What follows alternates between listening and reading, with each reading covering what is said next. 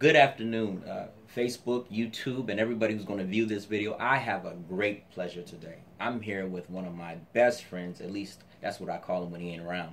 This is our chief, Michael Reaves. How are you, sir? How you doing, Tray? Nice seeing you. Man, I'm always glad to see you. Now, as a local pastor, you know, I was really overwhelmed about everything that's been going on in the media and what have you. And so I wanted to hear from you because I have a position where I see a certain side of it. But I know you have a position that many may not understand. So if you can just give us the viewpoint of our police department concerning what's happened in Dallas and in Minnesota and also in Louisiana. Okay. Well, I'll tell you, I, my viewpoint on what happened in Minnesota um, and Louisiana is I really have no viewpoint at this time. Okay. I'm one of those people that wants to wait till all the facts are in. Mhm. Uh, I, I, I don't want to jump to uh, assumptions. I do not have all the information that their investigators uh, have. I have not seen everything come out. I'm like everybody else in the country that's gotten pieces of uh, media feed and um, saw items on, on different social media accounts and also witnessed a short um, uh, Facebook video or something of that nature.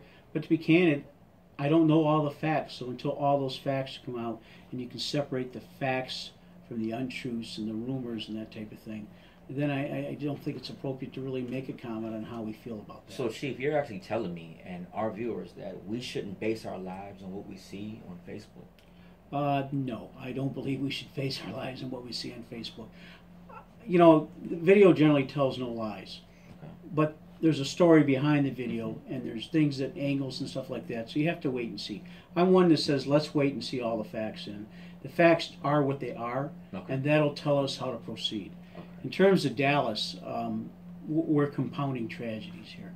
Any loss of life, whether it be in Minnesota or Louisiana, throughout the country, or any loss of life of police officers is compounding the tragedy of what's going on in this country. Um, I cannot fathom the, the hurt that that community is going through. Nor can I fathom the hurt that it's going through the communities in Minnesota or Louisiana. Um, I know that uh, uh, the loss of one life, let alone five at one time, is a very has a very sobering effect upon the profession of law enforcement. Wow. Wow. We feel that even up here in Michigan. Can you say more then to uh, what's the feeling then in our local community?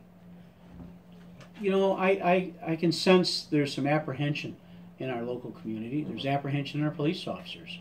Um, people are very uneasy. People are, are guarded in what they say.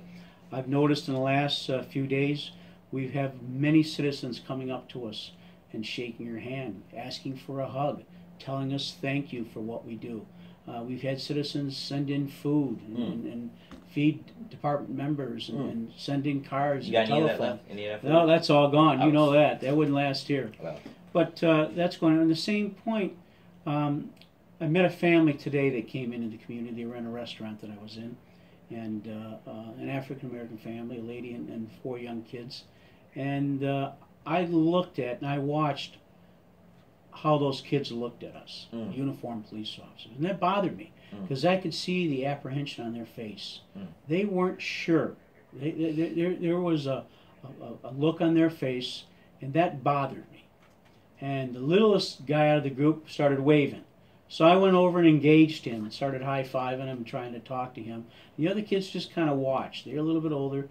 The little guy and me were having a good time, and I said hi to him and how's it going and that type of thing. And then I walked away, and I noticed as we sat a couple tables apart that the kids would keep turning their head to look, mm, mm. and uh, I it, that bothers me that uh, children and anybody it doesn't matter if it's just children, but anybody is that apprehensive about police or police in uniforms. So anytime that we can break down those barriers and say not all police officers are bad, some make terrible mistakes or do things intentionally that, that are wrong, and they should be held accountable. But the vast majority of people that are police officers, where there are over 750,000 police officers, one half of one percent Okay. are bad police officers. Just like not all blacks are bad, not all Right. Polish are bad, not all Right, Latinos right, are bad. Let's not characterize the actions of a few and paint everybody with the same brush. How can we tangibly touch our community? I know some people want to. We want to pray. We want to walk. We want to support, and all those things are good. but what can we tangibly do in working with you as a pastor, as a community leader? That's a great question, and, and I would agree with you.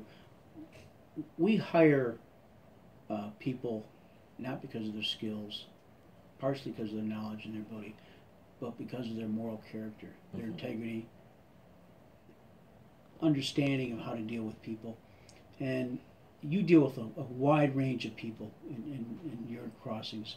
And I would say we do the same thing we're doing now.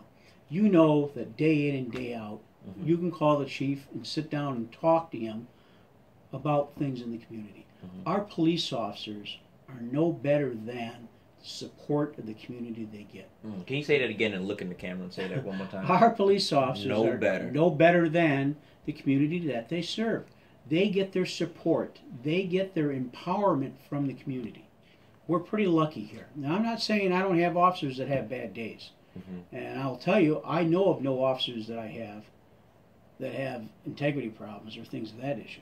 But on the same token, we do have people that make mistakes and do things wrong, and they are held accountable. But in the same token, we are the face of the community, and the community is the face of the police department. We can't get anything done in the community without the community being in partnership with us. And it's our mission that we have to develop more one on ones. Me and you talking, us driving down the street, getting out of that car and talking to the two neighbors who are standing over the fence. Gotcha. Us talking to a crime victim, regardless of their color, what is the issues, what can we do for you, what can we help you? Trying to solve people's issues and problems, but not being afraid of each other and not right from the get go being concerned because you're black, I'm white, uh, complainant's Latino. Somebody, you can't Yeah. worry about that stuff. Absolutely. Okay. Wow. And I appreciate you, Chief. Thank you for taking the Thank time. you, thank you. And uh, thank you all for taking time to listen to this.